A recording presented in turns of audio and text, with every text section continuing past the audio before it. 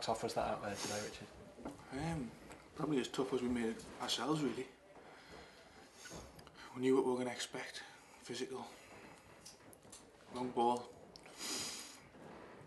And we probed and probed and probed, but couldn't break them down. Same story as in the night, really. We just couldn't break them down. Uh, I haven't seen the stats, but I probably think we had more possession, especially setting off, than what they did. What's lacking then at the moment? I mean, the manager said after Tuesday, someone like Aidan Connolly might be able to come in and, and, and help in that sense.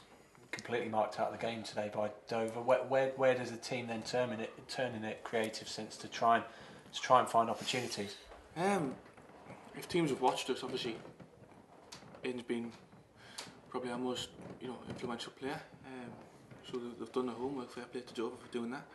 Um, Grimes followed me every single where that I went.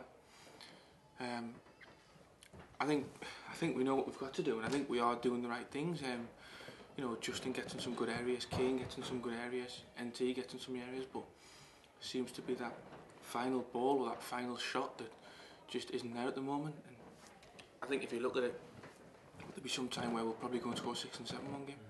How frustrated was the dressing room after today? It is frustrating because we've been unbeaten at all, um, and to lose that record in the, in the manner that we did, Um, you know, they've scored early again, which we've, you know, we seem to be giving ourselves a mountain to climb in games by conceding early goals.